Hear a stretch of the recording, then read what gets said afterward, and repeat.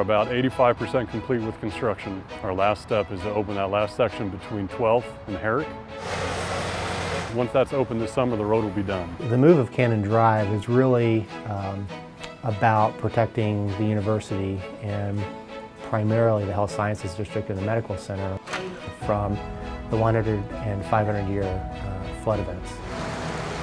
By doing this project, it raises the protection of the campus, it removes the hospital from that floodplain. Phase one, what we're doing now between King and John Herrick Drive, it takes that first step to take us out of that floodplain. The pump station kicks in.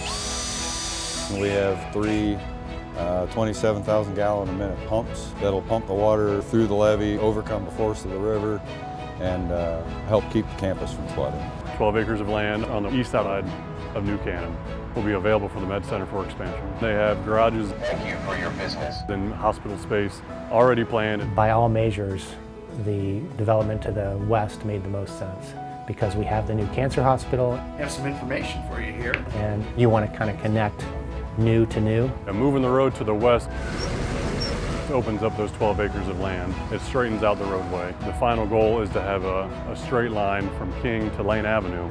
Excited to see it complete, excited to take the fences down.